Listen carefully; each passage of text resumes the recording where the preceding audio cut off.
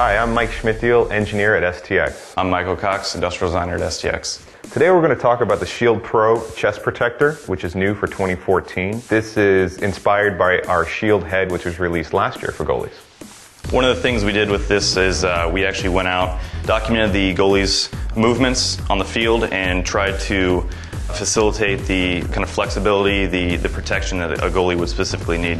We've got this floating chest panel over top of a flexible lower panel that creates a lot of mobility.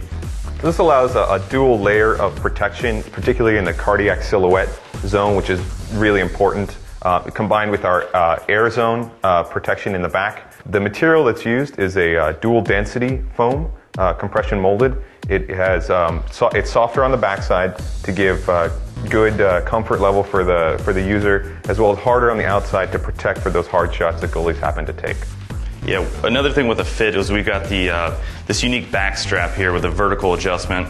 Um, this allows the, the, the goalie to kind of get this pad in the right position, lock it down so it doesn't move around while they're playing. There's also a removable uh, stomach pad at the bottom and a removable uh, air zone protection uh, at the chest area as well. So this is the uh, Shield Pro chest protector for goalies, new for 2014.